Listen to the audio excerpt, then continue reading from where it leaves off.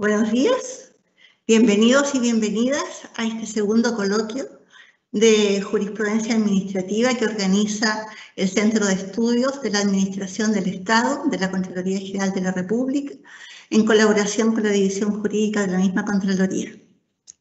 En esta ocasión, el tema que nos convoca es la protección a la maternidad en tiempos de COVID.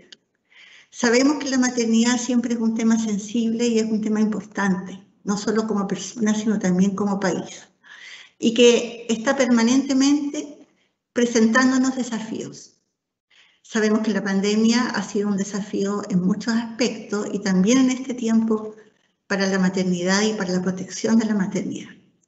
Por eso creemos que es relevante y pertinente poder abordar estos dictámenes, que son dos dictámenes. Boris nos va a hablar por ahí después de un tercer dictamen que salió esta semana, que es una primicia que les tenemos, pero principalmente de dos dictámenes que vienen a innovar un poco en lo que se ha dicho hasta ahora en la protección a la maternidad. Les queremos comentar que las preguntas nos las pueden hacer por chat en la misma página de Teams, el chat que tiene disponible eh, la plataforma Teams, y las vamos a responder al final de la exposición. Tenemos dos invitados para esta ocasión, tenemos a Boris Mendoza Vego, que es abogado de la Contraloría General. Actualmente se desempeña desde ya 2019 acá en la División Jurídica, en el Comité de Seguridad Social y Remuneraciones. Él es magíster en curso en este momento y nos va a hablar, nos va a contar de qué se tratan estos dictámenes que son el E7289 y el E72367 de este año, del 2021. Y luego vamos a tener con nosotros a la profesora Sandra Ponce de León, que es eh, una connotada abogada, profesora de la Universidad Católica, que también nos va a dar la perspectiva de este tema desde la mirada académica. Boris, te dejo entonces la pantalla y te escuchamos. Bueno, eh, muchas gracias Graciela por, por la presentación. Agradecer también al, al, CEA por la posibilidad de intervenir en, estos en este ciclo de coloquios, especialmente eh, por, como dijo eh, Graciela, por, porque se trata de un tema eh, muy relevante como es la maternidad, especialmente en los tiempos que estamos viviendo de crisis sanitaria. voy a compartir mi pantalla para compartir la presentación que tengo preparada. No sé si se, se ve correctamente. Sí. Boris, te vemos. Podrías, eso, como presentación. Ok, perfecto. Ahí está entonces. Bueno, eh, como indicamos entonces, el, tema a tratar en esta oportunidad es la protección eh, de la maternidad en tiempos de COVID-2019. Eh, si bien es un tema bastante amplio, nosotros lo queremos abordar desde dos puntos de vista. en primer lugar, respecto al beneficio de esa lacuna y jardín infantil, por un lado, y por otro, respecto a las normas que se han dictado sobre fuero maternal, durante eh, la crisis sanitaria. Eh, por lo anterior, eh, nos abocaremos a dos dictámenes que son, en primer lugar, el número E70289 de 2021, que en síntesis autorizó la entrega de un monto en dinero que equivalga al beneficio de esa lacuna al personal que se encuentra realizando labores en modalidad de teletrabajo. Y por otra parte, respecto al, al fuero maternal, vamos a abordar el dictamen número E72367, también de enero de este año, sobre prórroga del fuero maternal eh, que termina durante la vigencia del actual estado de excepción constitucional, de conformidad con lo previsto en el artículo tercero eh, de la ley 21.260. Pues bien, en primer lugar, respecto al, primer eh, tema a tratar, sobre el beneficio de esa lacuna, tenemos que primero situarnos en la situación en que nos encontrábamos antes del inicio de la pandemia. Al respecto, como sabemos, el, beneficio a la cuna está regulado en el artículo 203 del Código del Trabajo. Y es esa misma normativa también la que señala que este beneficio es aplicable a los funcionarios públicos. Este artículo 203 eh, señala, esto muy en, resumen, tres modalidades de entrega del beneficio. En primer lugar tenemos eh, la sala cuna anexa e independiente al local del trabajo. Además se autoriza también el pago directo por parte del servicio al establecimiento al cual la madre funcionaria lleve a, él o la menor. Y también existe la posibilidad, de acuerdo a esta normativa, que exista un convenio entre servicios públicos para el otorgamiento de esta prestación. Ahora, como, como es habitual, eh, la normativa no puede prever todos los casos que se dan en la práctica. Y es por eso que la Contraloría General, a través de los dictámenes que ahí se indican, y, otros más, ha señalado ciertas modalidades extraordinarias de otorgamiento de este beneficio. Eh, los casos que eh, señalo en, este, en estos dictámenes, que son el 68.316 y el 46.834, ambos del año 2016, se refieren, por un lado, eh, al caso de, los y las menores de menos de dos años que detentan una enfermedad grave que les impida absolutamente asistir al, a, sala cuna, a la sala cuna. Y por otra parte, respecto de eh, zonas aisladas en que no existan eh, salas cunas autorizadas por el Ministerio de Educación para funcionar. En estos casos, extraordinariamente y, solamente a los casos en que específicamente se señala, eh, se autoriza que el servicio entregue una, cantidad de dinero que contribuya al pago de, de, los servicios por el cuidado del o la menor. Ahora, ese es el panorama que teníamos anteriormente eh, o antes del inicio de la pandemia. Entonces, surge la interrogante, ¿qué ocurrió luego del inicio de la crisis sanitaria? Pues como todos, como todos sabemos, desde marzo del, año pasado se decretó el estado constitucional de catástrofe por calamidad pública, lo que trajo consigo el cierre de los establecimientos eh, educacionales, dentro de los cuales se cuenta la sala cuna y también los jardines infantiles, como lo diremos más adelante. Lo anterior entonces conlleva que el beneficio de esa laguna, de la forma en que se encuentra regulado por la norma y también por la jurisprudencia, queda sin aplicación práctica.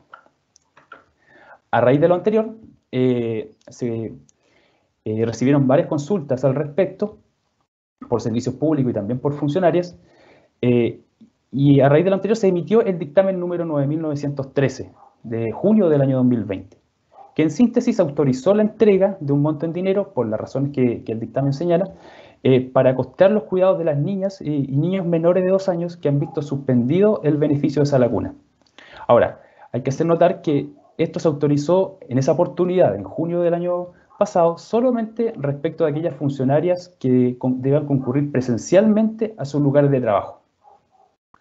Ahora, la pregunta que surge luego entonces, ¿qué ocurrió con los hijos e hijas menores eh, de dos años de las funcionarias que desempeñan sus labores bajo la modalidad eh, remota desde sus hogares?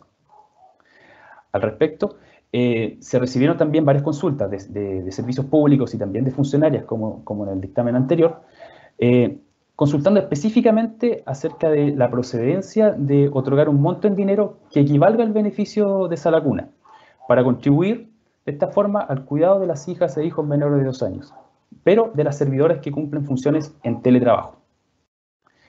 Eh, recibida la consulta, se solicitó informe a la Dirección de Presupuestos, quien señaló en síntesis que la entrega del beneficio, si es que se otorgaba de la forma en que se estaba solicitando, debía efectuarse en el marco de los recursos vigentes eh, autorizados. Pues bien, analizados los antecedentes, eh, se consignó como fundamento del dictamen, en primer lugar, que eh, estamos frente a un beneficio de seguridad social, que, cuyo objetivo es conciliar el bienestar del menor y el derecho de su madre a desarrollarse o a trabajar. Además, se constató que eh, la pandemia continuó con su expansión y, y se constató además la necesidad de velar por la vida y por la salud de las personas.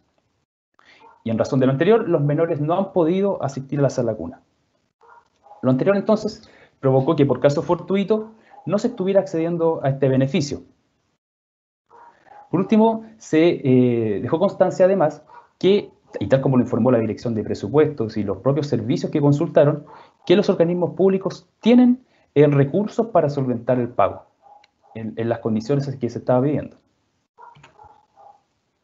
Bueno, en consecuencia, de acuerdo a todos los fundamentos que hemos señalado, el dictamen que estamos eh, analizando resolvió que las madres funcionarias que desempeñan sus labores en teletrabajo a causa de la pandemia podrán solicitar al organismo empleador la entrega del beneficio de esa lacuna a través del pago de una suma de dinero, que se fije siempre de acuerdo con el presupuesto institucional para ese ítem. Ahora, eh, la entrega de este beneficio en los términos como lo, estamos, como lo expuso el dictamen, está supeditado al cumplimiento de ciertas exigencias.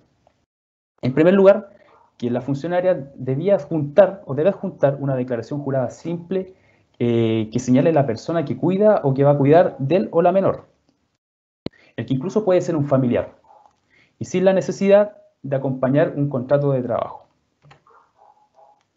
Ahora, además se, hizo la, prevención de que esta modalidad excepcional no podría implicar un doble gasto para el servicio. Y en este punto eh, tenemos que hacer una prevención muy breve.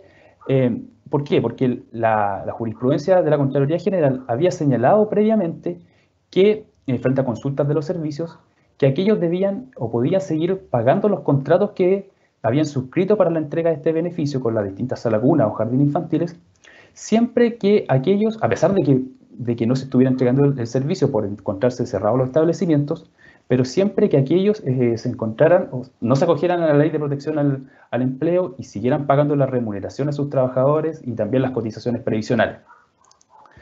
En razón de lo anterior, si el servicio eh, se encontraba eh, pagando, pagando la remuneración en los términos que hemos indicado, no se puede acoger a este beneficio que estamos realizando en el dictamen. ¿Por qué? Porque esto implicaría un doble gasto para el servicio. Ahora, además, este beneficio es aplicable también a las servidoras a honorarios y también a los padres que tengan derecho a acceder a esta prestación como por ejemplo ocurriría en el caso de los padres que tengan el cuidado personal del o la menor. Por último, eh, sobre este punto eh, se hizo la prevención de que para trabajadoras presenciales continuaba vigente el criterio contenido en el dictamen 9913 de 2020 que les indiqué anteriormente. Ahora, eh, este dictamen también se pronuncia respecto del beneficio de jardín infantil, que como sabemos es un beneficio distinto al de esa laguna. ¿Y por qué es distinto? Porque el beneficio de jardín infantil es un beneficio voluntario y sujeto exclusivamente a disponibilidad presupuestaria. Por tanto, entonces, razonó el dictamen que no existe obligación legal para mantener su otorgamiento en las actuales circunstancias de crisis sanitaria que estamos viviendo. Sin embargo, eh, se indicó que aquellos organismos públicos que tengan disponibilidad presupuestaria para ello y no estén pagando eh, un contrato para la entrega de esta prestación, en los términos que, les señalé hace un rato, pueden regularlo aplicando los mismos criterios indicados anteriormente para la laguna. Entonces, de esta forma, el, dictamen que estudiamos eh, aborda los, eh, el tema de la sala cuna y del jardín, jardín infantil, por un lado, respecto de las funcionarias que se encuentran desempeñando sus labores bajo la modalidad de teletrabajo. Ahora, eh, ahora nos abocaremos eh, respecto al, tema del fuero maternal, que es el segundo gran tema que, intentamos abordar en, esto, en este coloquio.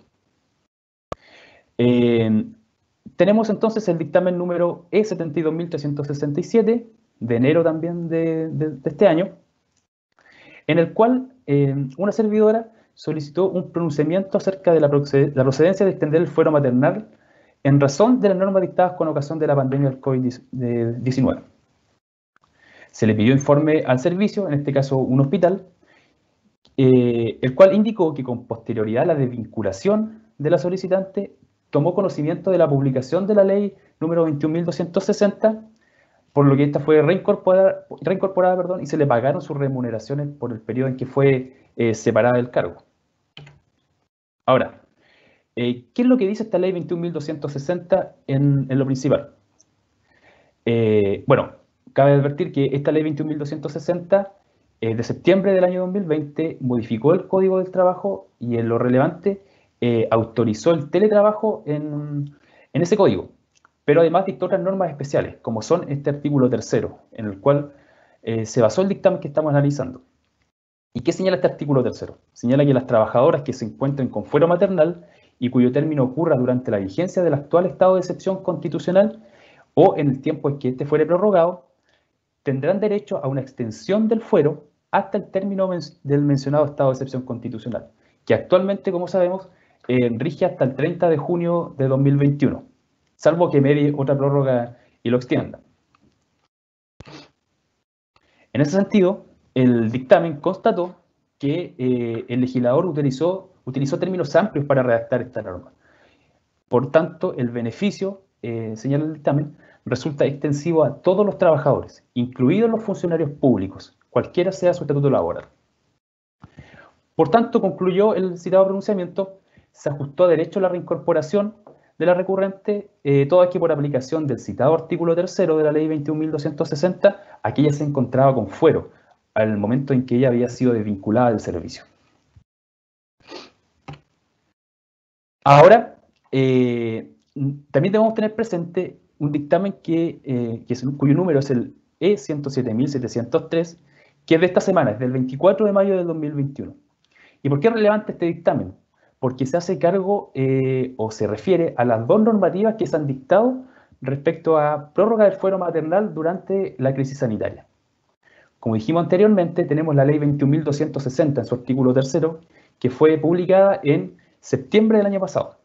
Pero previamente a esa norma teníamos la ley 21.247, que en lo principal eh, creó una licencia médica preventiva parental y amplió, por tanto, la vigencia del permiso por, natal parental eh, por 30 días prorrogable hasta por 90 días.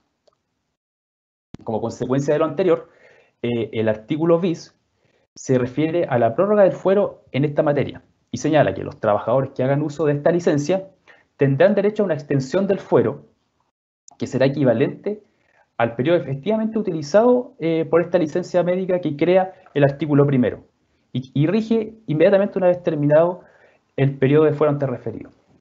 Por tanto, entonces tenemos, como lo señalé, dos normas que regulan una materia similar, bajo distintas condiciones, por cierto. Y eso es lo que advierte el dictamen. Se advierte entonces la existencia de dos cuerpos legales que con ocasión del COVID-2019 han extendido el fuero maternal bajo distintas condiciones. En dicho contexto señala el pronunciamiento y considerando especialmente la finalidad protectora que ambas leyes persiguen, esto es eh, proteger la integridad del menor y proteger además eh, la, la salud de la población y el derecho de la madre o padre a trabajar, corresponde que en cada caso concreto, o sea, en cada caso particular, se aplique aquella que otorgue una mejor protección a la hora de determinar la presión, una mayor protección, perdón, a la hora de, determinar la impresión del fuero indicado.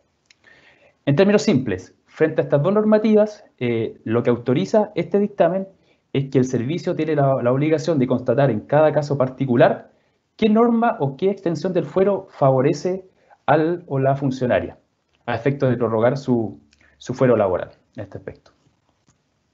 Pues bien, de esta forma entonces eh, he pretendido abordar estos dos grandes temas, por un lado, como lo señalé, la sala cuna y el jardín infantil, y por otro lado, eh, la prórroga del fuero maternal eh, a raíz de estas dos normativas que se han dictado al respecto.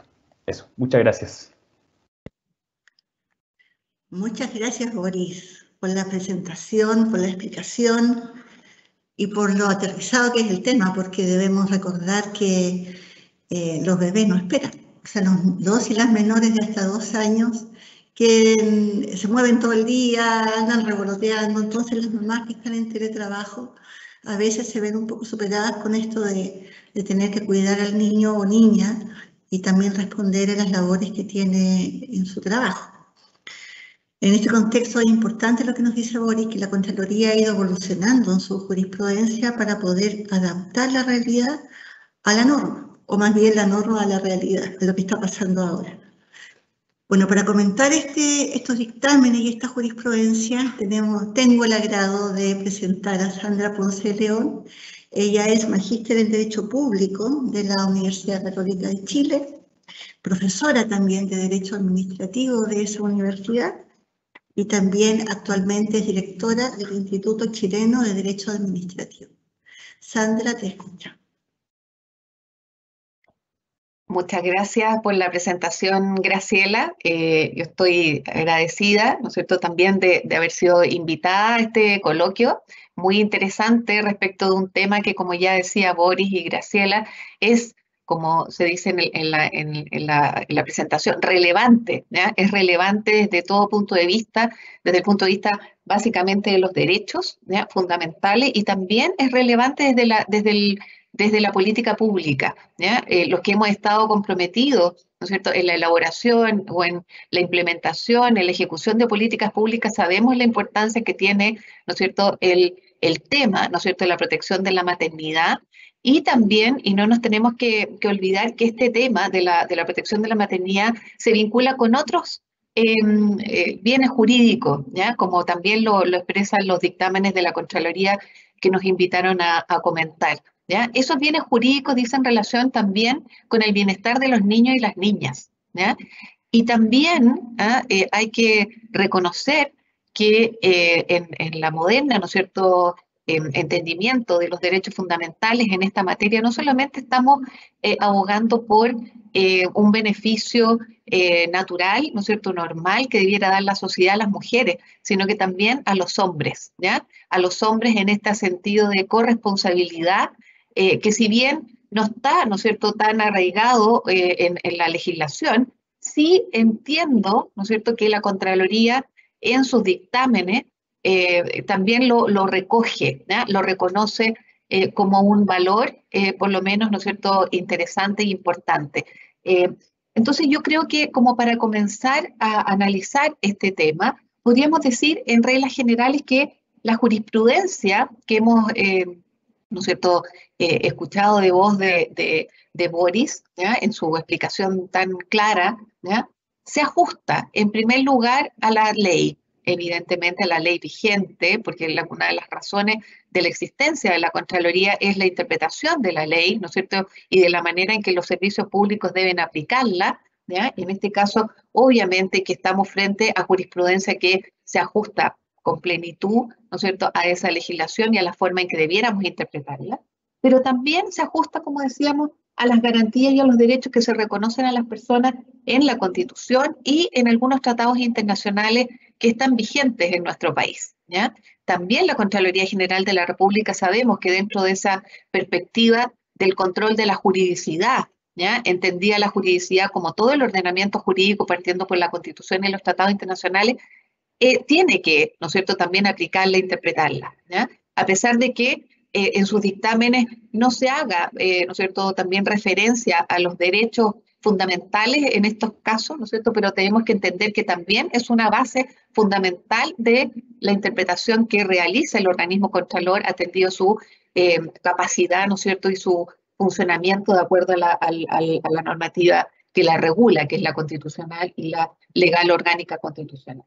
Pero también vamos a decir que nos invita a avanzar precisamente en, eso, en esos temas en la regulación, ¿eh? en la regulación que tenemos en esas, en esas materias. Y voy a guardar alguna de, esas, de esos temas si, si ha habido, ¿no es cierto?, Un, eh, una comprensión desde, desde la perspectiva del legislador respecto de este avance que tenemos que hacer.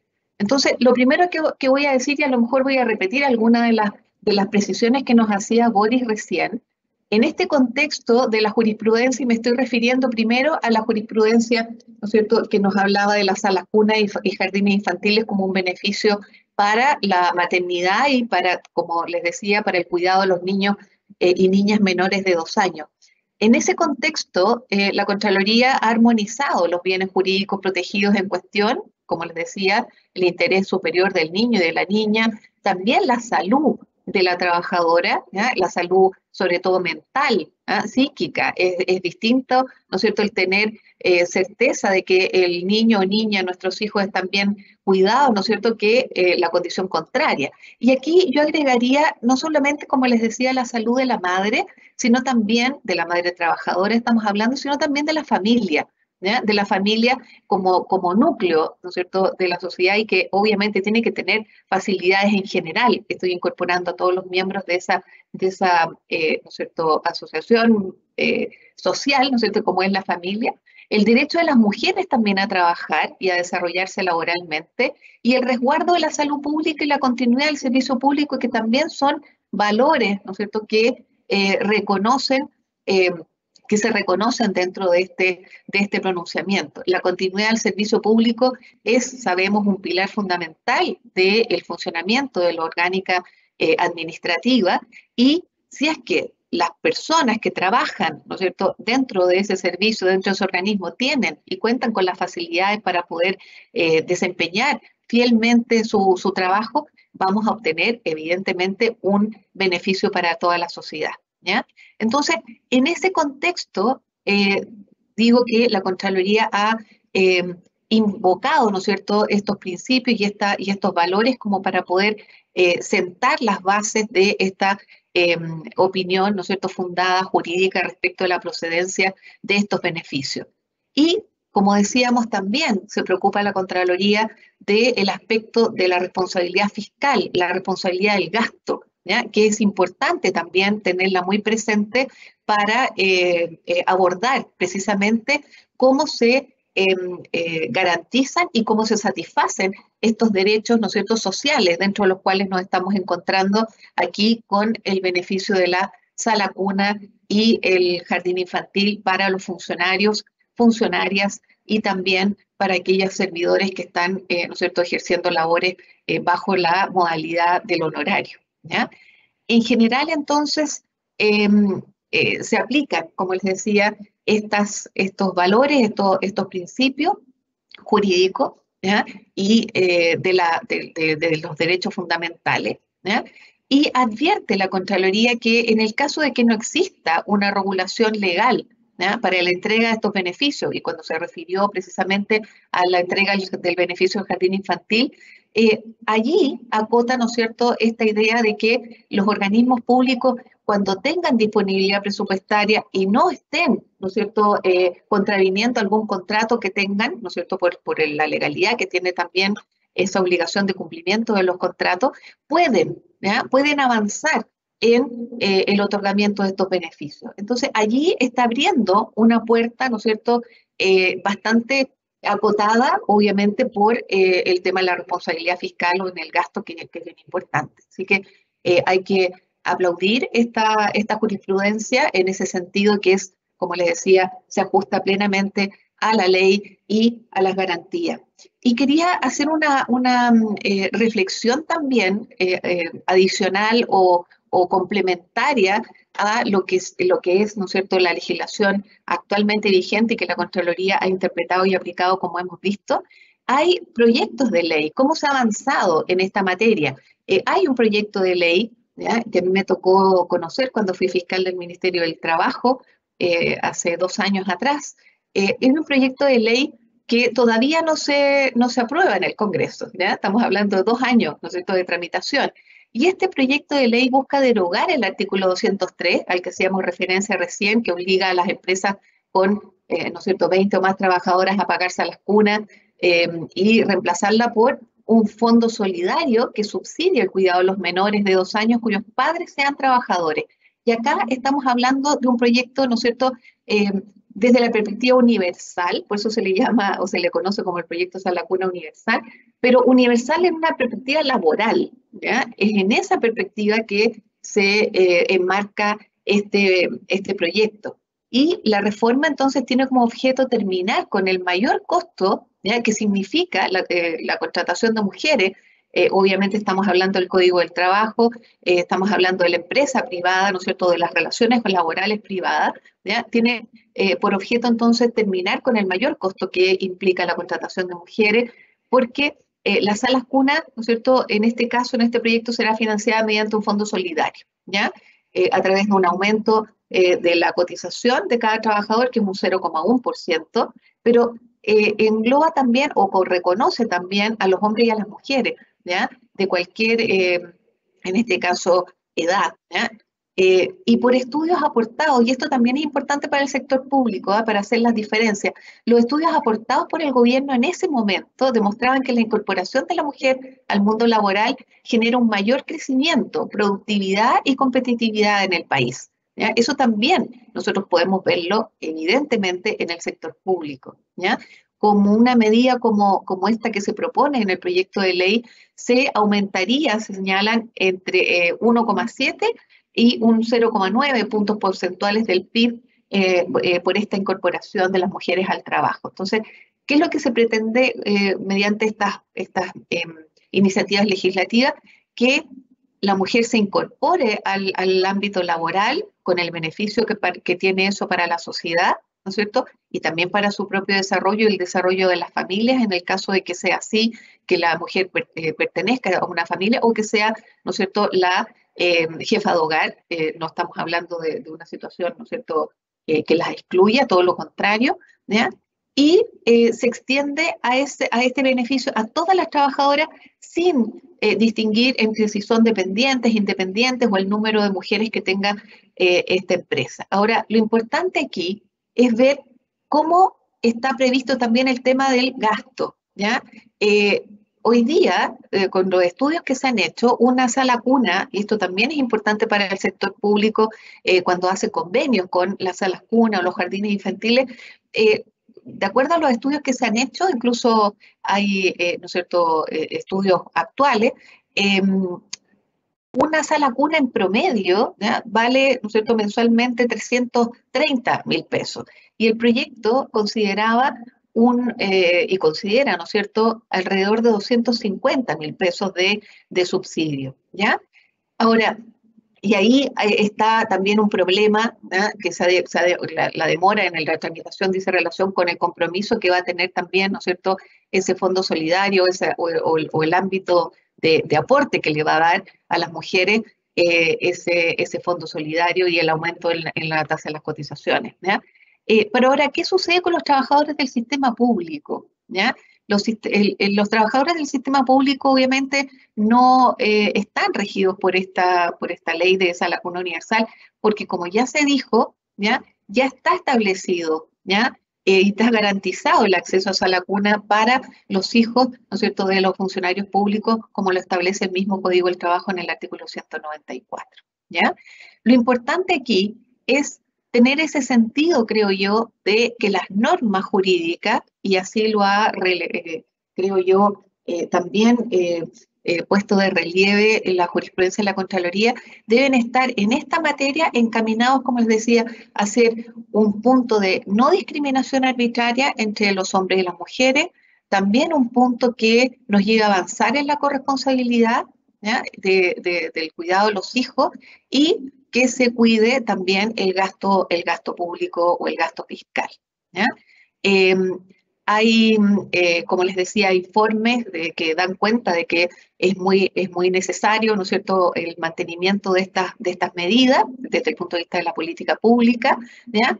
Y sin descuidar, y esto es algo que, que ha sido a lo mejor una crítica eh, que encuentro que es, es eh, atendible, sin descuidar los valores jurídicos que van detrás, no solamente la incorporación de la mujer al trabajo o, darle facilidades para la incorporación, sino, como les decía, eh, brindar eh, un, apoyo también desde la perspectiva de las políticas públicas a el cuidado infantil de calidad, a ese derecho de los niños y niñas a tener una atención, a dejarnos a la necesidad de la familia de eh, mejorar, ¿no cierto?, su condición eh, y su tranquilidad, en definitiva, para eh, los padres poder trabajar.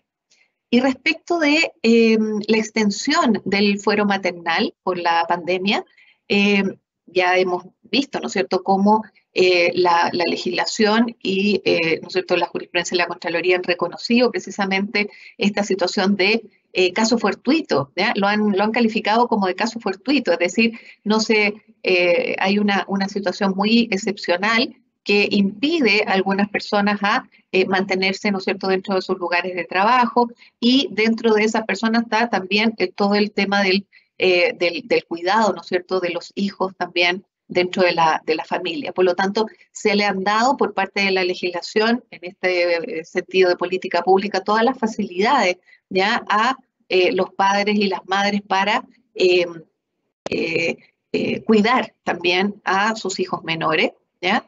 Y esto también está, les, les había advertido recién, en conformidad a los tratados internacionales. No nos olvidemos que el convenio 183 de la, OIT de junio del año 2000 contempla este derecho al fuero maternal. Y voy a subrayar el carácter universal de las normas de protección de la maternidad que se consagran en el artículo segundo de este convenio al prescribir que sus disposiciones se aplican a todas las mujeres empleadas, incluidas las que se desempeñan en formas atípicas de trabajo dependiente. Y en lo que importa, el artículo también 8 del convenio perfecciona y protege aún más el derecho a fuero maternal, explicitando que el onus probandi, en los casos de excepción al fuero, va a recaer en el empleador. Y además se garantiza el derecho de la madre a retornar a su mismo puesto de trabajo o a un puesto equivalente con la misma remuneración una vez que termine su eh, licencia, ¿no es cierto?, de maternidad. Y por último, para no alargarme mucho, yo quiero recordar también el dictamen 14.498 eh, del año 2019, en que la Contraloría expresó que las normas sobre protección de la maternidad, ¿no es cierto?, y entre ellas las del fuero maternal, son de aplicación general, y por lo tanto benefician a las servidoras de la administración, cualquiera sea el régimen estatutario al que se encuentren afecta, y con independencia de la calidad jurídica en la que desempeñan sus labores. Y siempre, ¿no es cierto?, es bienvenida, ¿no es cierto?, esta, esta fórmula, ¿no es cierto?, de interpretación de la legislación, como les digo, cuando va eh, de la mano de eh, los derechos fundamentales y la forma en que se tienen que proteger. Y por último, también la tercera sala de la Corte Suprema, la conocida como sala constitucional, a pesar de que yo siempre he denominado esa sala como la sala contencioso administrativa, básicamente, ha considerado también que el Estado adquirió un deber de proteger la maternidad a través de las reglas, de reglas universales, que resulten aplicables a la totalidad de las trabajadoras del país que prestan servicios ¿no es personales bajo un vínculo de subordinación, de dependencia, independientemente si el trabajo se ejecuta en el ámbito público o privado. Eso es lo que yo creo que debemos mantener y, em, y no olvidar a la hora de enfrentar estos temas. Muchas gracias. Después, cuando, cuando vengan las preguntas, podremos a lo mejor avanzar en, en estos aspectos y en otros que les interesen a, a los asistentes. Muchas gracias, profesora. Les cuento que eh, hemos recibido una gran cantidad de preguntas. Yo quiero relevar algunas ideas que señaló Sandra. Me parece muy interesante el análisis que hace desde los principios que, se, que entran en juego acá en el tema de la protección de la maternidad y también eh, el derecho a la vacuna y el fuero. Como se habla mucho del interés superior del niño y de la niña, se habla mucho del, derecho de la madre de poder reintegrarse a trabajar. Y yo creo que también es importante que hablemos, se habla, yo sé que se habla, porque también hablemos del valor para el Estado, pensando en las funcionarias públicas y servidoras mujeres, de que las mujeres estén trabajando. Porque la mirada de una mujer no siempre coincide con las miradas de los varones. No quiere decir que sea mejor o peor. Entonces, esta necesidad de integrar las visiones, pienso yo que es importante ir creciendo, que no solo es porque la mamá necesita trabajar, sino que también los empleadores necesitan que las mujeres trabajen, porque las opiniones el aporte que ellas dan, que nosotras damos, es valioso y que si no estuviéramos en el, en el sector, probablemente no se tendría la vista de la misma manera. Entonces, eh, acá entran en juego varias, varias cosas, pero no podemos olvidar también eh, que estamos en este momento mirando al sector público. Como dice Sandra, estamos regidos con un tema presupuestario que es estricto. Necesitamos también eh, contar con normas claras que no tienen la misma libertad que tiene el sector privado, de poder acordar remuneraciones, de poder acordar beneficios. En el sector público, muchos de estos beneficios y las mismas remuneraciones y las normas de seguridad social son materias de ley. Entonces no quedan entregadas a la voluntad o al acuerdo del organismo público empleador y de sus funcionarias. Y por eso este tema es tan delicado y también cobra relevancia el proyecto de ley a que se refiere la profesora, a que se refiere Sandra, porque acá hay un llamado al legislador a actualizar las normas, más allá de cómo queden, pero es necesario darnos cuenta que los estatutos en general, el Código del Trabajo también, a veces está quedando chico para la realidad que vivimos hoy día como país. Bueno, como les dije, tenemos otras preguntas, muchas. Voy a mencionar algunas de ellas. Eh, probablemente Boris puede partir con algunas de las respuestas. Nos preguntan si la sala de cuna tiene que estar autorizado por la juicio o por el Ministerio de Educación. No sé, eh, Boris, si quieres aclarar eso. Claro, sí. Tal vez de la, de la presentación yo solamente hice alusión al, a aquellas autorizadas por el Ministerio de Educación, porque actualmente es el Ministerio quien, quien autoriza la sala cuna. Anteriormente era la JUNGI. Y esto eh, eh, a raíz de la entrada en vigencia de la ley 20.835. Esto ocurrió aproximadamente el año 2017-2018, no, lo tengo muy claro, pero eh, el, artículo, el cuarto transitorio de esa normativa señalaba que eh, las atribuciones que ejercía la JUNGI a, eh, le iba a ejercer, seguir ejerciendo la JUNGI, en este caso la autorización de los, jardines infantiles esa laguna, hasta que se dictara el reglamento de esa ley. Bueno, el reglamento se dictó y a partir de ese momento, entonces, es el Ministerio de Educación quien ejerce estas atribuciones. Por tanto, la, la alusión al Ministerio de Educación también debe entenderse hecha al, a la JUNGI, para que quede bien clara, clara esa idea. Gracias, Boris. Nos preguntan también respecto de este beneficio, esa lacuna que se, que se eh, entrega de manera equivalente con este beneficio en dinero, ¿desde cuándo? Si es retroactivo o no es retroactivo, ¿desde cuándo eh, nace este derecho a solicitar y a obtener este pago? Mire, bueno, aquí hay que tener presente de que eh, los dictámenes que, analizamos lo que establecen son nuevos criterios interpretativos, una nueva jurisprudencia administrativa. Y en ese sentido, eh, los nuevos criterios siempre rigen hacia lo, hacia lo futuro, lo sucesivo. Por tanto, rigen desde el momento en que se emite el dictamen. Eh, es por eso, desde el momento en que se, pronuncia el, dictamen, la funcionaria o el, funcionario, según corresponda, debería acudir al, al servicio a, a, solicitar el pago de, de, este bono en los términos que, que se indican. Pero para que también quede bien clara la idea, es desde el momento en que se emite el dictamen. Claro. O sea, desde que se emite el dictamen yo puedo solicitar el pago de este bono. Claro. claro. Y si la pregunta fuera, perdón, y si la pregunta fuera que la persona, un poco reflejando a lo mejor lo que quiere preguntar la persona, si la, si la persona tuviera, no sé, podría pedir, por ejemplo, eh, retroactividad respecto de, de la, del, del, del, tiempo en que esa persona lleva fuera, como por ejemplo del, del trabajo para pedir que se le pague lo que ya pagó antes del dictamen?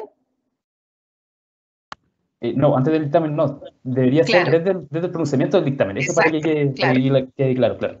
Eso. Claro, porque esa, ese periodo que queda como, como vacío, ¿eh? anterior al dictamen, se aplica obviamente la legislación vigente en ese momento. Claro. O, o interpretación, ¿cierto? Claro. Sí.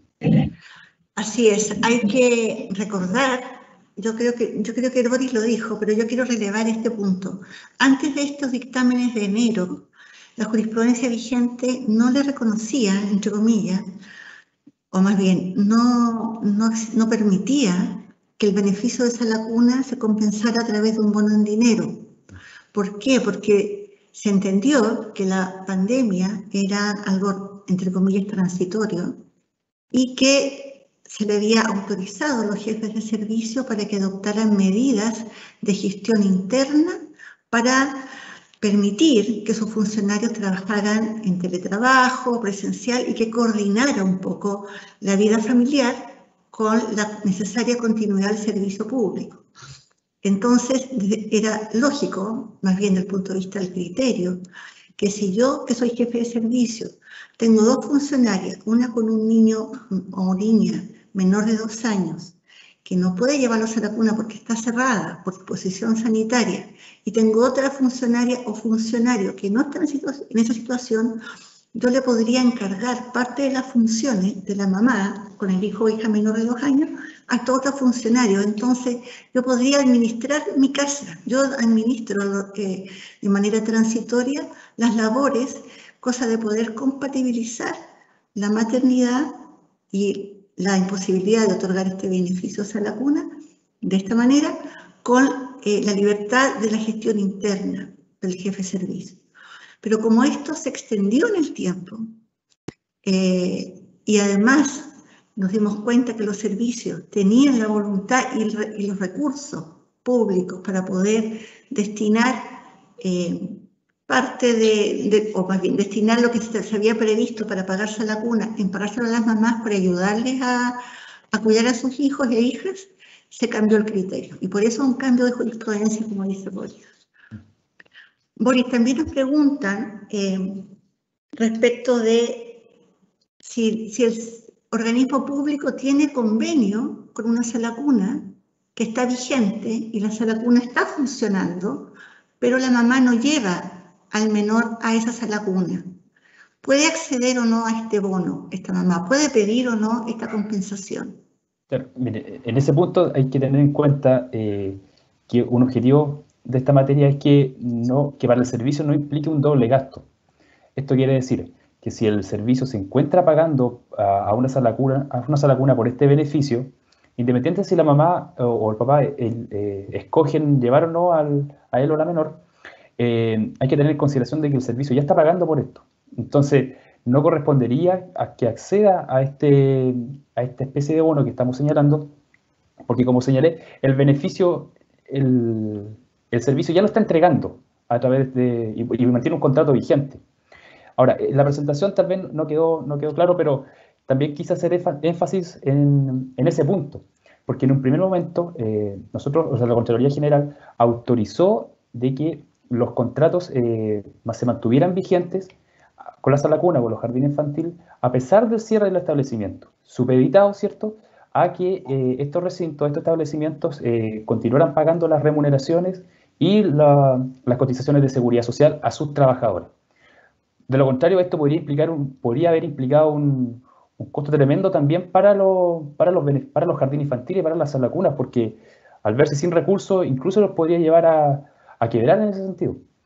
Ahora, eh, eh, sobre eso, entonces, eh, el objetivo principal en este punto y sobre la pregunta que se plantea es que el servicio no incluya, o sea, no, no incurra en un doble gasto. Eso principalmente.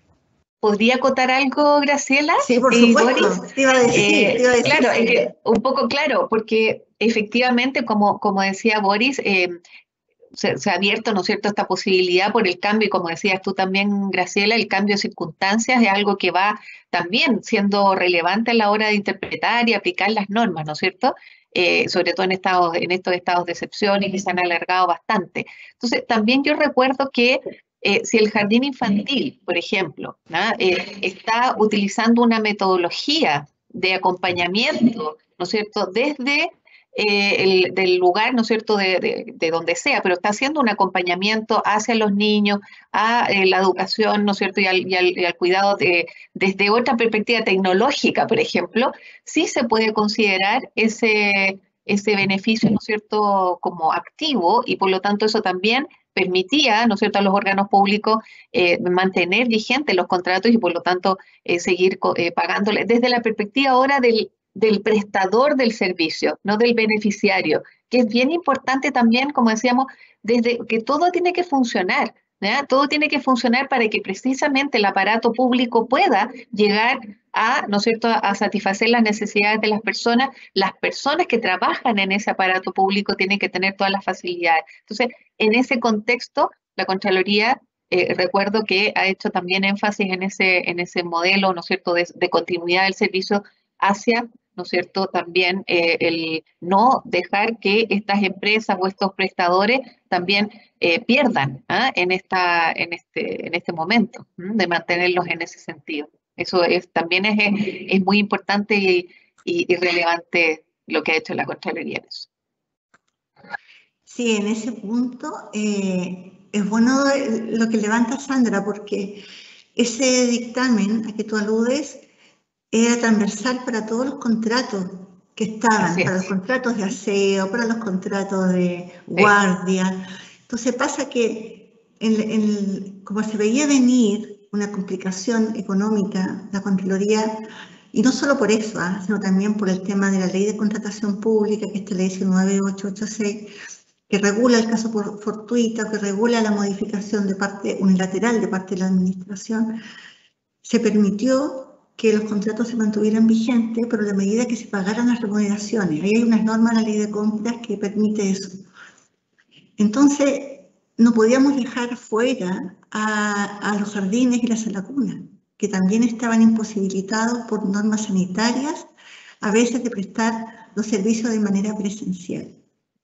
Entonces, eh, como dijimos en un principio, esto ha ido también evolucionando, porque muchos servicios públicos optaron por mantener los contratos de esa lacuna eh, vigente, pero a medida que pasó el tiempo empezaron a cortar, a terminar esos contratos. Entonces eso ha permitido que esos recursos cambien desde pagar la contratación a entregárselo a la funcionaria. Otra pregunta que tenemos, no sé, puede ser amplia para cualquiera de los dos, respecto de, de si es necesario que este, este pago de la Senacuna a, la servidora, a honorarios en este caso, debe estar expresamente previsto en el contrato de honorarios y si debe estar ahí el monto. Mm. Espero que, que Boris hable y después puedo, puedo cagotar. Porque efectivamente, claro, ahí también ha habido un, avance, entonces, ¿no es cierto? Ah. Claro, sí, bueno, al respecto, eh, a través del dictamen 14.489 del año 2019, me parece que es el número. Sí, ese es el que, el que cité. Usted lo señaló, claro. sí, Sí. Eh, bueno, a través de ese dictamen se reconocen eh, la protección a la maternidad a las servidoras a honorario y, lo que se dice en ese dictamen es principalmente que se reconocen todos estos derechos de maternidad que señala el título 2 del, Código del Trabajo, incluido, por cierto, el beneficio de esa lacuna. Por tanto, no es necesario que se encuentre estipulado en el contrato honorario eh, de esta servidora este beneficio. Ahora, hay que hacer la, salvedad o la prevención de que estamos hablando de las servidoras honorarios eh, que ejercen labores habituales en el servicio. Hasta ese punto ha llegado la jurisprudencia. Eh, por tanto, en resumen, no es necesario que se encuentre consignado en el, en el contrato honorario. Y yo quisiera, claro, y yo quisiera acotar un poco, eh, y conversábamos antes de este coloquio, ¿no es cierto?, si uno podía dar también eh, opción a, reconocer el trabajo que, realizan, ¿no es cierto?, los, servidores a honorarios, estos servidores a honorarios que sobrepasan lo que dice el artículo 10 del Estatuto Administrativo, ¿eh? esto que, está pasando hoy día, que es, la Contraloría obviamente lo sabe, no, es, no es ciega, ni sorda a estos, a estos sistemas, ¿no es cierto?, en que se han ido eh, en la práctica, ¿no es cierto?, asentando en, nuestro, en nuestra función pública, que hay personas que están contratadas honorarios y que realizan eh, eh, trabajos habituales del servicio. Eso se ha ido reconociendo por la jurisprudencia de la Contraloría, por la jurisprudencia judicial, pero no está regulado en la ley. En la ley lo que habla la ley de los, trabajadores honorarios es un trabajo eh, ¿no es cierto?, excepcional, que no está dentro de las labores del, servicio. Entonces, a, costa de dictámenes o interpretaciones, ¿no es cierto?, de la Contraloría o de los tribunales de justicia, hemos tratado de darle un, eh, ¿no es cierto?, una protección a esas personas, ¿ya?, eh, que escapan, como les decía, de lo que regula el estatuto administrativo. Y les puedo hablar, ¿no es cierto?, de, de, mi experiencia personal, porque me han dejado hacerlo y creo que es importante. Eh, bueno, yo he dedicado casi toda mi vida profesional, aparte de la academia, ¿no es cierto?, al trabajo dentro de los, del, del, servicio u órganos del Estado. Y eh, estuve trabajando antes, ¿no es cierto?, eh, nueve años a honorarios en un, en un ministerio, en el Ministerio de Obras Públicas y en concesiones, y era impensable, estamos hablando de, de los años 97, ¿ya? yo tuve la Contraloría y después me fui a este régimen absolutamente abierto, ¿no es cierto?, del contrato honorario, estuve nueve años trabajando y eh, es, extraño, ¿ya? Eh, en esa época uno no, obviamente no se cuestionaba toda esta situación de el honorario sin derecho, etcétera, sin, sin seguridad social garantizada, sino que como independiente, como trabajador independiente. Pero es extraño, lo que a mí me, lo que me sorprende es que hayan pasado tanto tiempo. Imagínense, estoy hablando del año 97, yo estuve hasta el año 2005 eh, en, en, en, la, administración, después me fui al Tribunal Constitucional, otras cosas, pero que recién el año 2019, ¿ya? Estamos hablando de harto tiempo, ¿ya?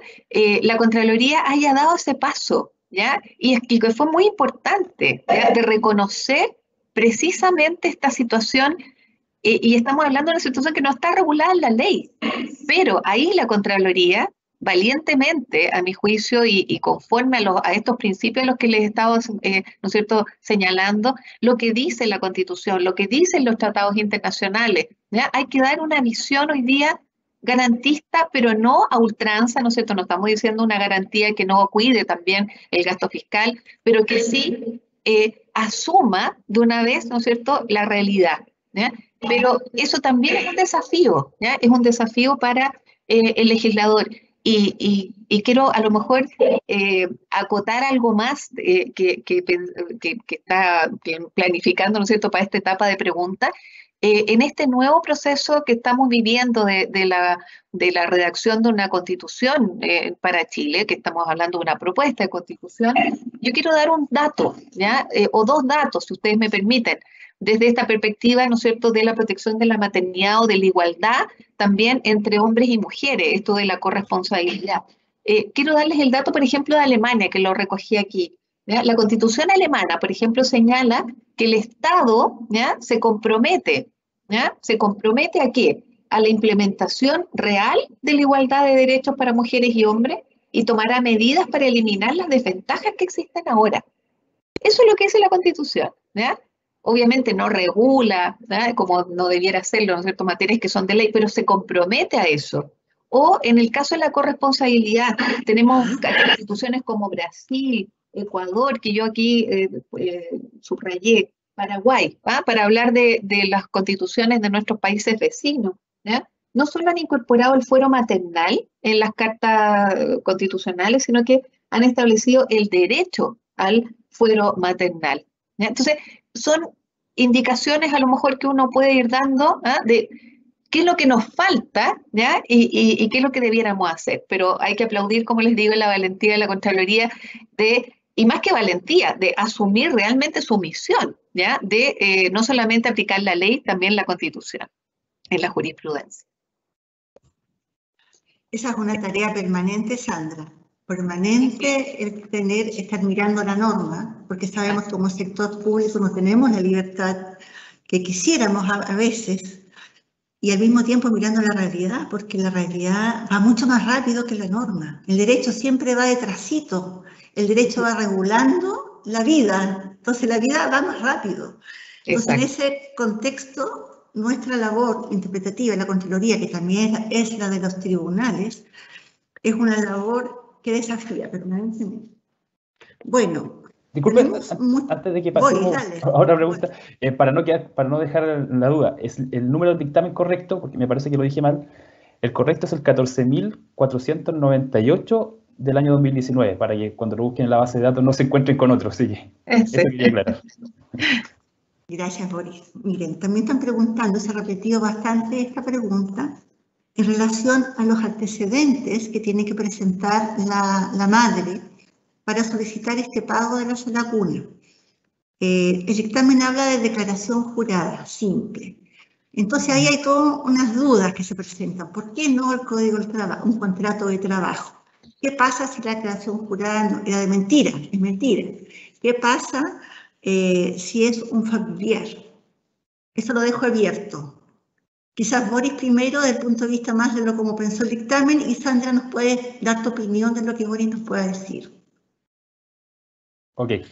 Eh, respecto eh, sobre estos requisitos que se, que se señalaron, una declaración jurada simple, que se señale quién va a ser o, quién está cuidando a él o la menor, y la no exigencia de un contrato de trabajo, eh, viene dado por, primero yo creo por la idea, la idea matriz de esto es que lo que se trata acá es de eh, autorizar un montón de dinero, pero que contribuya al cuidado del menor. No es que reemplace lo que cuesta, por ejemplo, eh, que un menor o una menor asista a una sala cuna.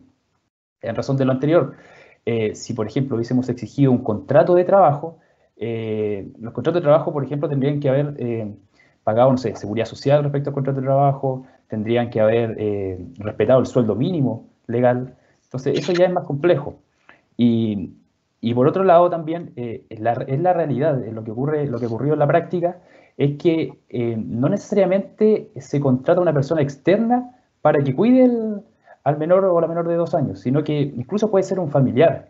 Eh, no sé, yo, también ha, ha, ocurrido muchos casos de que a veces la funcionaria mantiene su trabajo, por cierto, y el marido queda, queda desempleado. Entonces el marido se aboca exclusivamente al cuidado del, del menor para que eh, la madre pueda eh, desempeñar sus funciones. O lo mismo pasa con la abuela, el abuelo, no sé. Entonces, en ese sentido, eh, por eso es que se, se deja de manera amplia esta, estas exigencias. Ahora, si se trata de una declaración jurada simple, sobre ese punto y se miente en la declaración jurada simple, bueno, todos los funcionarios públicos estamos sujetos a responsabilidad administrativa, entonces si se advierte que el funcionario mintió eh, al respecto, bueno, tenemos la herramienta, eh, una investigación sumaria, un sumario administrativo a través del cual hacer efectiva esta responsabilidad, pero bueno, obviamente la idea es que, esto no ocurra y que los funcionarios entiendan que también que esto es eh, una contribución a los cuidados del menor, que en ningún caso esto va a reemplazar lo que cuesta efectivamente una, una sala cuna, como lo dijo la, profesora en su presentación, eh, los montos eh, que, que, el mercado tiene para estos efectos exceden a los que se están entregando habitualmente por los servicios en este ítem. Así que eso principalmente. Sandra.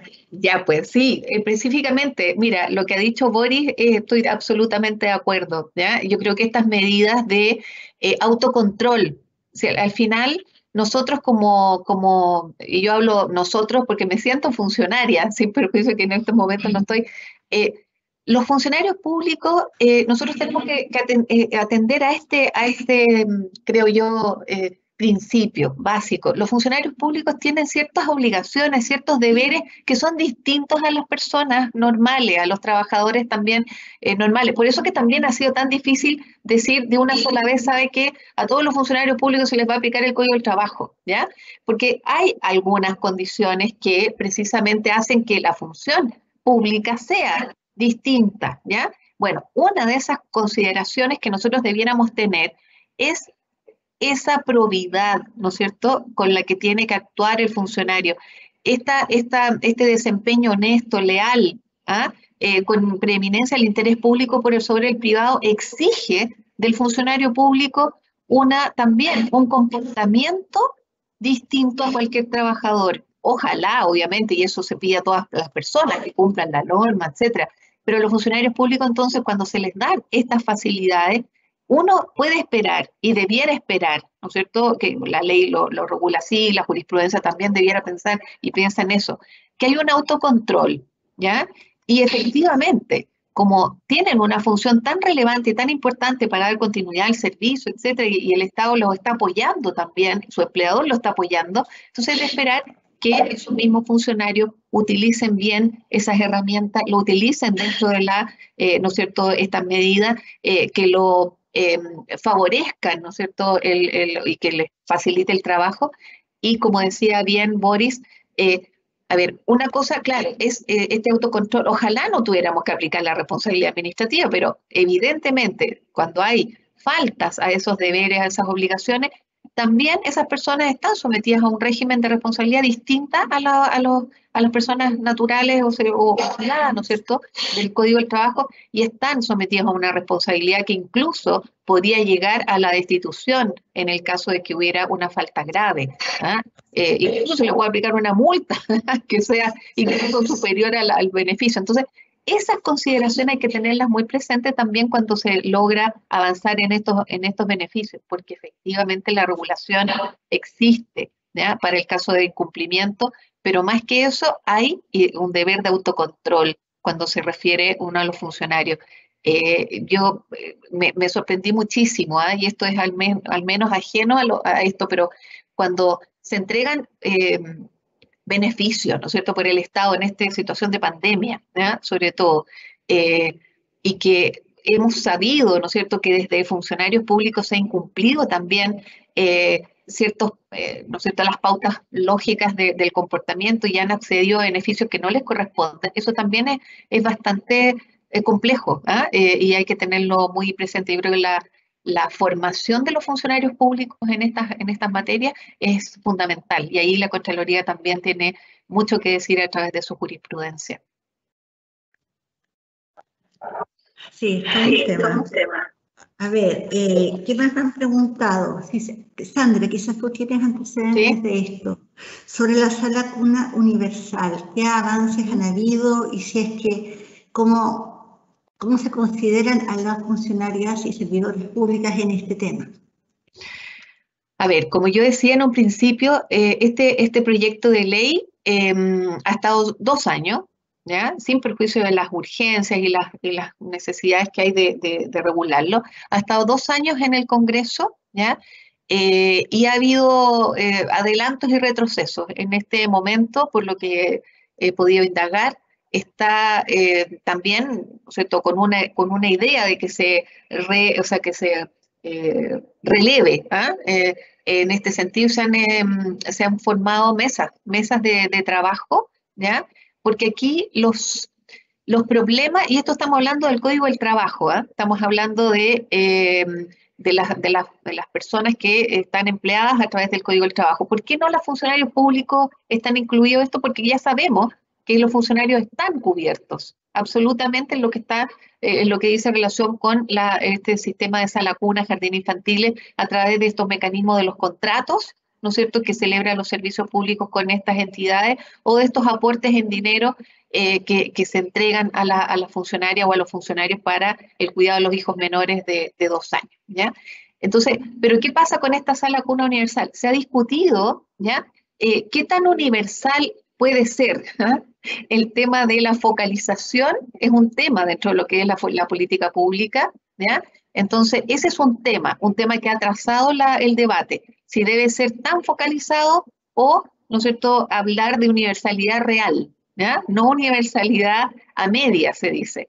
Otro tema que también ha perjudicado o, ha, hecho más lento, más que nada, ¿no es cierto?, el, debate parlamentario, el debate político y, social que se plantea por el proyecto, es si realmente aquí lo que se está abordando es eh, un tema laboral.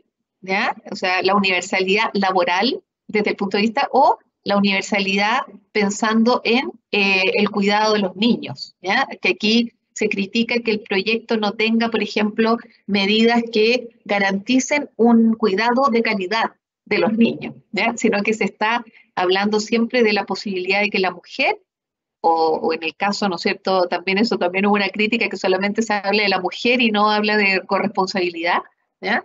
Eh, de, ¿no es cierto?, de una intervención mayor de la mujer en el mercado laboral. Entonces, esas son las trabas eh, que hoy día se están tratando de, imagino, a través de estas mesas de diálogo, de eh, eliminar, y, pero no hay duda alguna, y yo creo que en eso coinciden los analistas económicos, los ¿no es cierto? políticos, porque estos son problemas políticos, no son problemas jurídicos, ¿ya?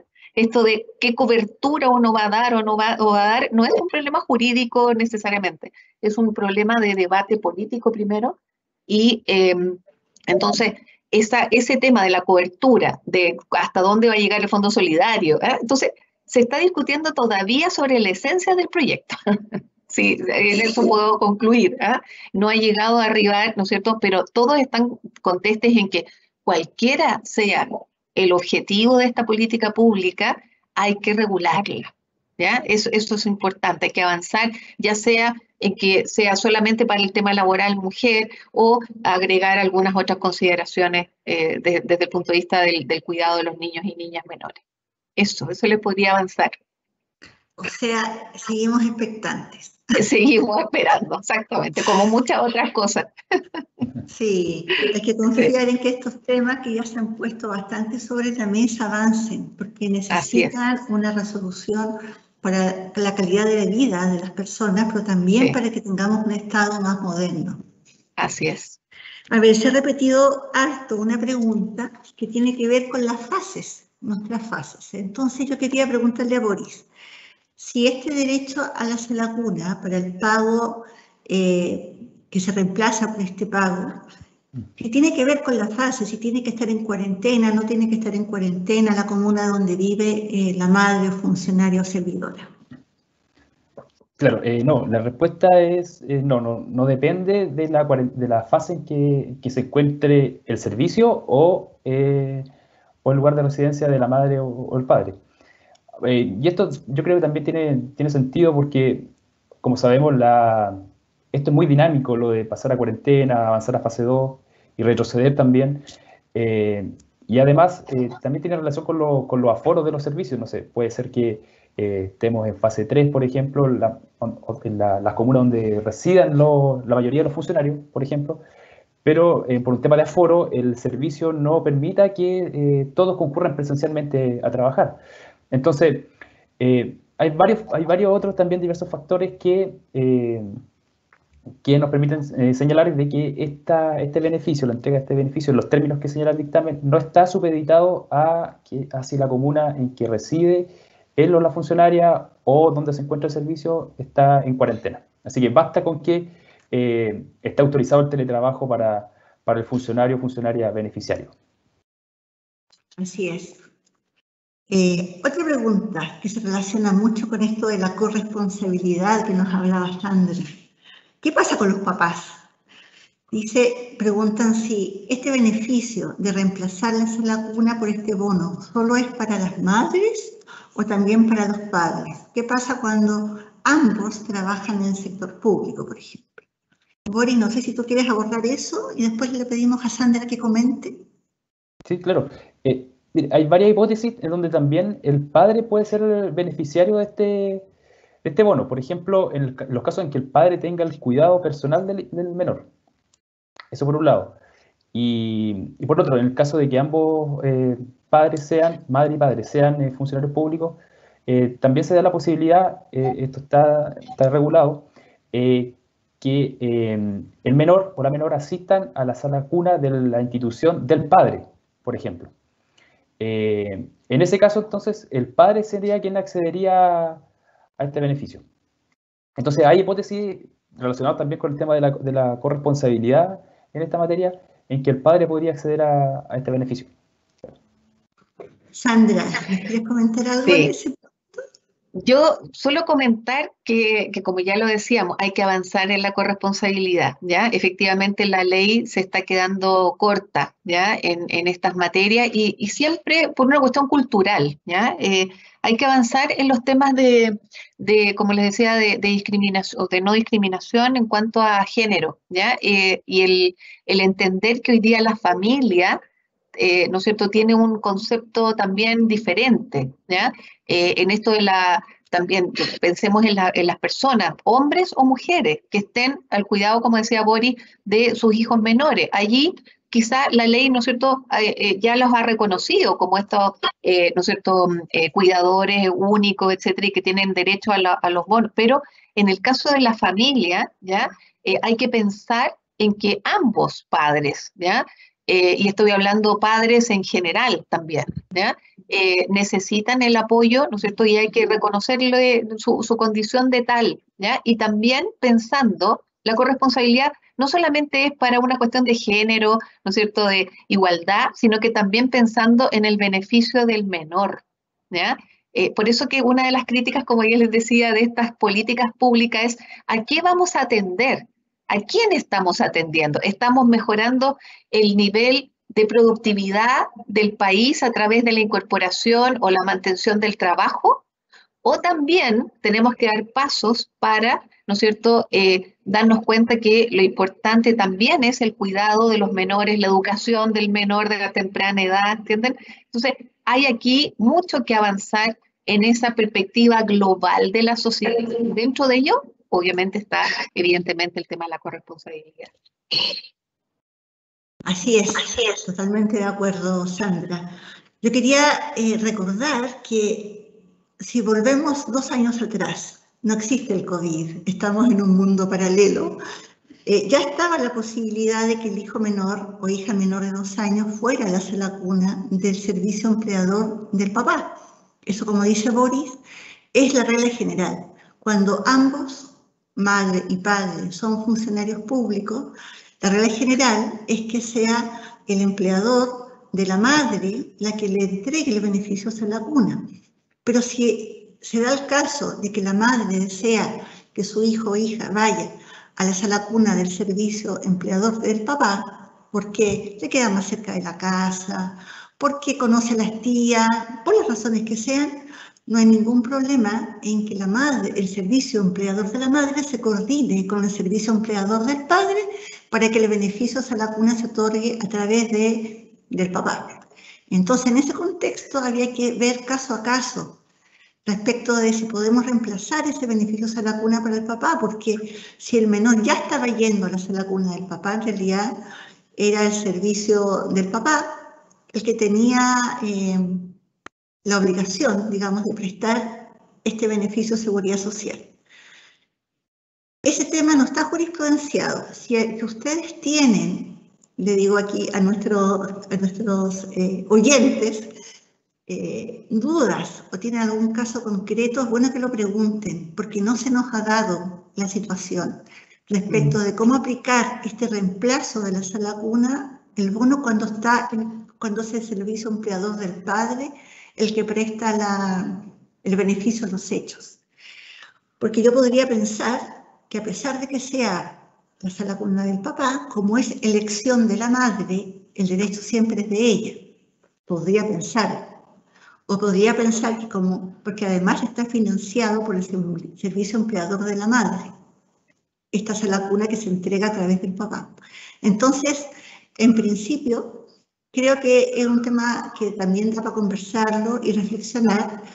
Eh, sería bueno que lo pregunten, porque a lo mejor hay que va diciendo la Contraloría, porque en medida que se van dando casos novedosos, podemos ir avanzando también en la, en la jurisprudencia.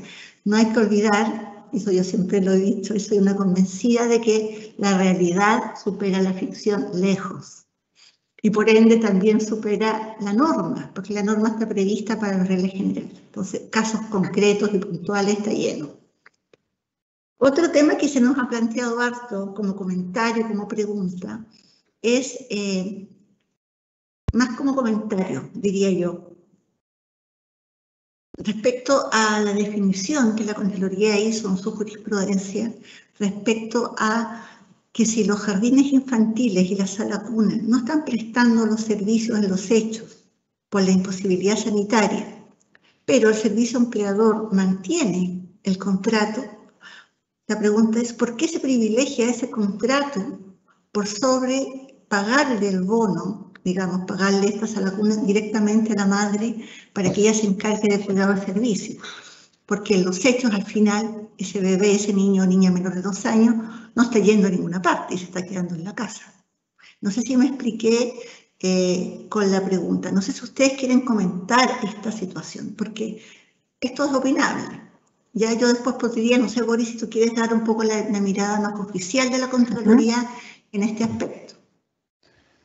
mire, sobre lo, lo que se plantea, sobre el comentario, primero yo creo que hay que tener en consideración de que el servicio también, bueno, en primer momento, eh, se autorizó por la, por la Contraloría a que el servicio continuara pagando a la sala cuna al jardín infantil bajo condición de que pagaran las remuneraciones y la, seguridad social, como, como lo señalamos anteriormente. Pero esto no era entendido de que la pandemia, eh, como usted también lo señaló en, un momento, era transitorio, podía pasar. Sin embargo, esto eh, continuó. Y ese mismo pronunciamiento, al que hago alusión, también señala que el, el servicio, y esto en base a la ley de compra, eh, tiene la posibilidad de modificar los contratos e incluso ponerle término anticipado. Eh, entonces, eh, yo creo que ahí también el servicio tiene que ponderar en qué situación, en qué situación nos encontramos. Porque si esto se extiende por mucho tiempo y por un lado tiene a, su, a las funcionarias que no, a las cuales no le está entregando este beneficio, sería aconsejable o recomendable que eh, modificara el contrato o le pusiera término anticipado, porque además la ley, la ley de compra, la 19886, se lo, lo autoriza. Entonces, claro, es un tema súper, eh, como, como, usted bien dice, debatible o opinable. Yo creo que el servicio eh, tiene, la, tiene la obligación de eh, plantearse estos temas y, y, tomar una decisión en base a, a los distintos fundamentos. Yo creo que debería analizar las facultades que le otorga la ley de compra y, proceder a una modificación del contrato o un término anticipado si esto ya se ha extendido, porque imagínense, llevamos ya más de un año, dos o tres meses y no vemos tampoco que esto vaya a terminar en lo, pronto. Entonces, yo creo que es, muy debatible, muy discutible el, tema. Sí, yo, yo también, eh, sí, yo también, igual que Boris y, y lo que sugería Graciela, estas son las cosas que, no, que nos llevan a, pensar en, cuáles son las reales em, facultades o, ¿no cierto? competencias que tiene la administración activa. ¿ya? Estamos hablando de quienes manejan ¿no cierto? La, administración. Estas son las cuestiones que se les plantean todos los días ¿ya? y sobre los cuales tienen que decidir, como dice. Y la decisión no siempre, sin perjuicio que hoy día eh, de acuerdo a la Constitución, a la ley, rija para la administración, ¿no es cierto?, esa vinculación positiva al derecho, en el sentido que solamente pueden hacer aquello que la ley le permite. Bueno, hay que buscar, así como dice Borges, en la ley, qué es lo que permite ¿ya? hacer a la administración. Em, entonces, y hay que ser valientes, como les digo, y hay que, hay que enfrentar las decisiones eh, tomando todos los, todas las, las eh, consideraciones, ¿no es cierto?, posibles, creando el menor eh, ¿no es cierto?, daño, ¿ah? eh, el mayor, ¿no es cierto?, eh, entonces, al final es el servicio el que tiene la competencia para, como decía Boris, para enfrentar estas decisiones, ¿ya? y el Estado en general, ¿qué va a hacer? Va a dejar, como les digo, hoy día la persona que estaba preguntando o comentando a lo mejor siente o percibe que como política pública, ¿no es cierto?, en esta, de cómo enfrentar esta situación es no dejar caer a la empresa, ¿no es cierto? ¿Y qué pasa con sus funcionarios? Eh, bueno, hay que siempre en las decisiones públicas hay que tener un equilibrio, ¿ya? Y hay que, hay que elegir, hay, eh, hay que eh, tomar la decisión que genere el mal menor, si ustedes quieren, porque los males siempre existen, los recursos son limitados, ¿ya? Entonces, hay que enfrentar precisamente lo que decía Boris, hay que enfrentar la decisión y ver las mejores condiciones que tiene ese servicio para responder a eh, ambas eh, eh, cuestiones. El Estado también debe promover y proteger, ¿no es cierto?, sus contratos, ¿ya? Tiene que celebrarlos para poder cumplirlo y también puede modificarlo, evidentemente, tiene su compromiso con los funcionarios, pero todo es, ¿no es cierto?, eh, más que debatible, ¿no es cierto? Todo forma parte, ¿no es cierto?, de la decisión que tiene que adoptar responsablemente la autoridad en el, en el momento. Y si uno tuviera a lo mejor que privilegiar un bien jurídico sobre otro, bueno, ahí está el tema de eh, para, eh, cuál es la visión que tenemos. Si vamos a privilegiar, ¿no es cierto?, el cuidado, como les decía, de los menores y también el trabajo de los funcionarios, o si vamos a lo mejor eh, a tomar alguna actitud desde el punto de vista de que las empresas pueden manejarse o pueden mantenerse de otra, de otra manera, etc. Pero esa, esas son las decisiones que todos los días enfrenta la administración activa. ¿ya? Eso cuando uno dice eso, otra cosa es con guitarra. ¿ah? Eh, no estamos hablando desde afuera, sino cuando hay que tomar las decisiones, hay que tomar esas decisiones y esos bienes jurídicos hay que ponerlos, ¿no cierto?, en el justo equilibrio para eh, como les decía, lograr una decisión que genere el menor perjuicio posible a, quienes van dirigidas las decisiones administrativas. Se lo digo como exfuncionaria o, esas son las cosas que todos los días hay que resolver, efectivamente. Sí, no hay que olvidar acá que la gestión interna de los servicios públicos los tiene el jefe no los tiene la Contraloría. Entonces, no todas las decisiones que el jefe de servicio debe adoptar van a estar en un dictamen. Puede ser, y aquí estoy pensando en voz alta, que yo como en mi servicio público tenga una sola mamá en esta situación. Entonces, para mí es mucho más fácil pedirle a esa mamá que vaya a teletrabajo y asignarle las labores que pueda realizar en un horario flexible, que pueda compatibilizar ella la labor, la lactancia, el cuidado del menor, con sus tareas propias de funcionaria pública. Pero puede darse el supuesto también de que yo no tengo una mamá, tengo 10, 15, 20 mamás y se las mando todas por la casa donde queda la, continuidad del servicio. Entonces ahí es mejor, de que estoy pensando desde una perspectiva, quizás ponerle término al contrato que tengo con la sala cuna y pagarle a la mamá este bono compensatorio para que ellas puedan pedir ayuda a un externo, a un familiar, a alguien que, o a la misma persona que quizás les pueda hacer aseo, que les ayude con el menor, para ellas poder asistir presencialmente o quedarse en teletrabajo, pero poder dedicarse en una, jornada más continua o viendo temas que quizás son más delicados. Eh, de una manera más tranquila, de que su hijo o hija va a estar bien cuidado. Entonces, como dice Sandra, efectivamente eh, es una decisión que no es la misma para todos. Es muy casuística, va a depender de la región en. A veces creemos, lo que trabajamos en Santiago, que todas las regiones están, y no es así. A veces hay regiones, hay una sala cuna en un, en un tiempo, en un lugar, en una zona aislada, como lo que dijo Boris, para toda la región, para toda la comuna. Entonces es muy difícil el traslado. Las realidades son distintas. Em, Bueno, a mí me llegan y me llegan mensajes que me dicen que llegan más preguntas, llegan más preguntas, y yo trato aquí de irlas leyendo y de poder eh, compatibilizar lo que estamos hablando. Eh, no sé si quieren hacer algún comentario respecto a lo que estamos diciendo, eh, lo que dije yo recién, por ejemplo. Sí, estamos totalmente de acuerdo, Graciela. La, realidad, como decía también Boris, supera la, ficción, ¿no es cierto? Pero todas estas, cuestiones son, eh, y no hay que olvidarlo, a lo mejor también como para dar un buen consejo ¿ya? a la autoridad o a, los funcionarios públicos. Todas estas medidas ¿ya? tienen eh, una cuota de discrecionalidad. ¿ya? Eh, esta discrecionalidad que la entendemos dentro del derecho y no fuera del derecho, no como arbitrariedad. No porque la, administración o la autoridad tome una u otra medida, va a ser esa medida calificada inmediatamente de arbitraria. ¿ah? Eh, lo importante aquí es que la autoridad cuando emita la decisión, cual sea, la justifique, la motive. Y esa motivación tiene que estar de acuerdo a un criterio de razonabilidad, de algo que es ¿no es cierto?, que pueda ser defendible, defendido, ¿no es cierto?, porque tiene un sentido. Eso es lo que diferencia la decisión discrecional de aquella que es arbitraria, caprichosa, voluntarista, Y, y, es lo que obviamente va a ser calificado después por la Contraloría cuando entra a controlar o los tribunales de justicia, cuando, eh, cuando eventualmente alguien no se sienta representada por esa decisión o se siente incluso eh, dañada por esa decisión, va a ir a los tribunales y va, va a alegar la nulidad, etcétera.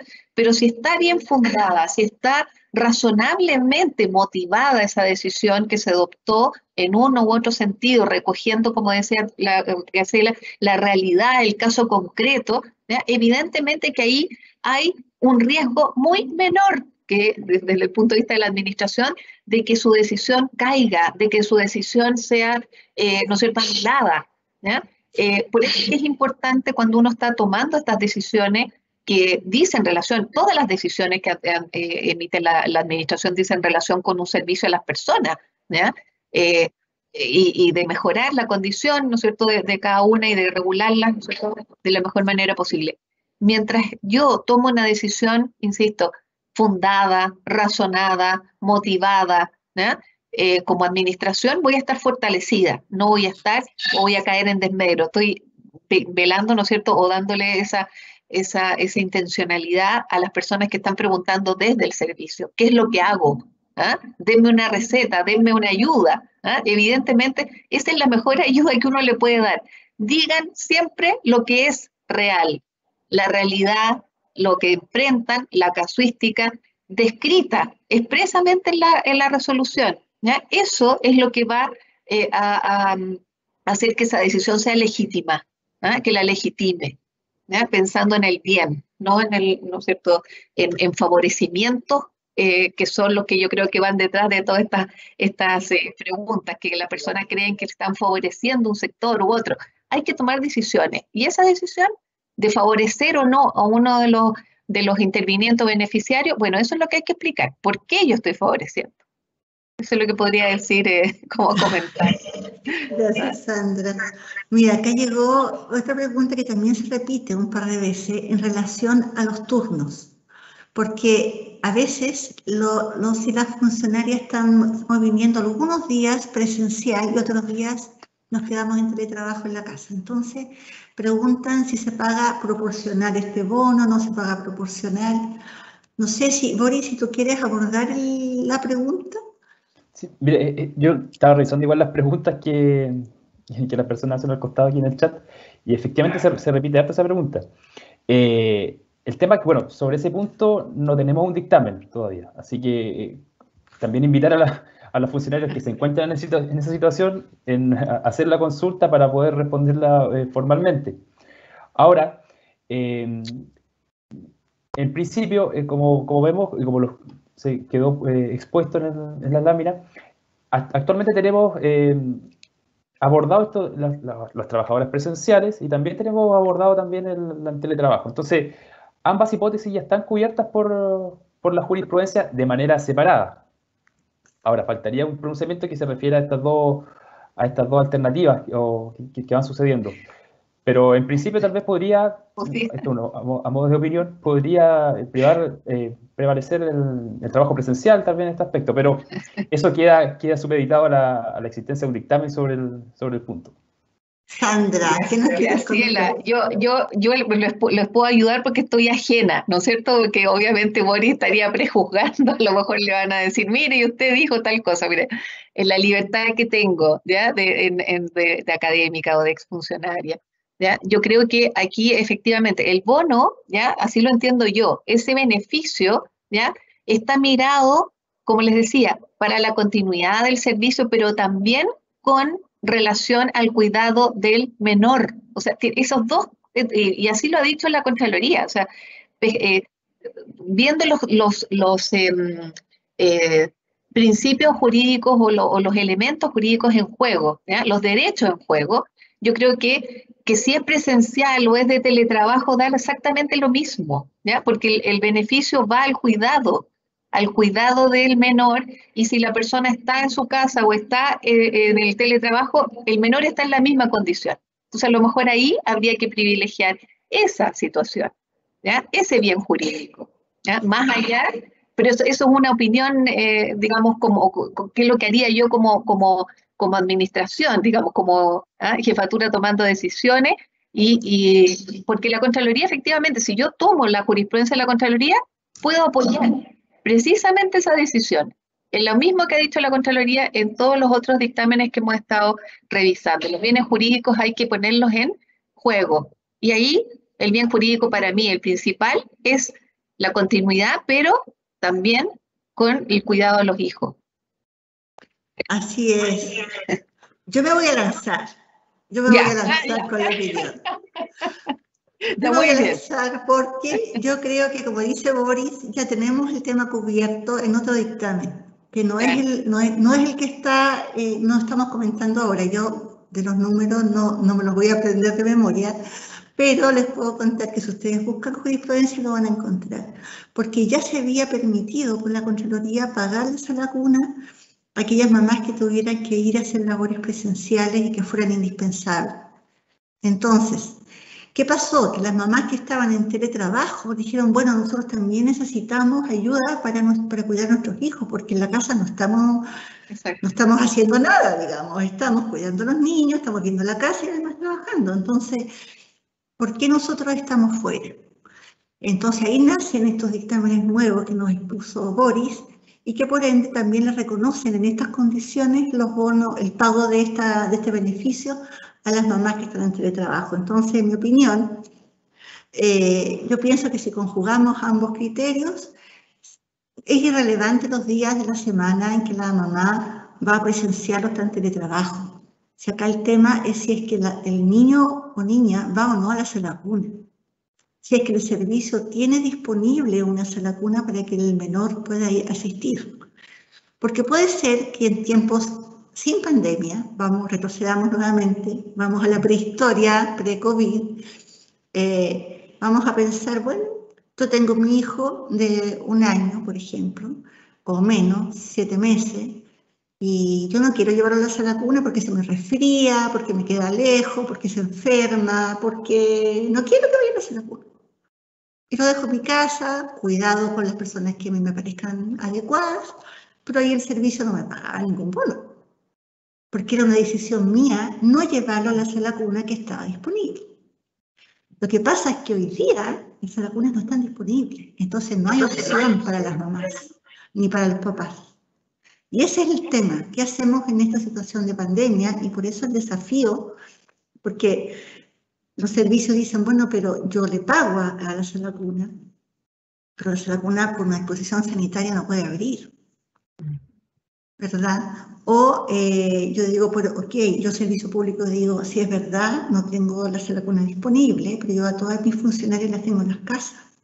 Y recordemos que el Código del Trabajo dice para que el menor o la menor quede en la sala cuna mientras la mamá va a trabajar. O sea, el código, el legislador está pensando en que la mamá tiene que dejarlo en un lugar para asistir presencialmente a otro.